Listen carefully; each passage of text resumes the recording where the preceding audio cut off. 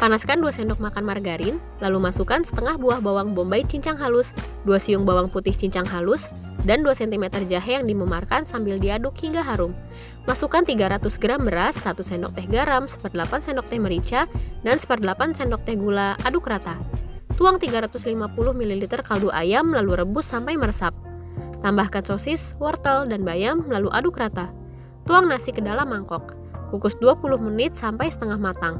Keluarkan dari kukusan, tuang telur yang sudah dikocok lepas, lalu kukus kembali selama 10 menit.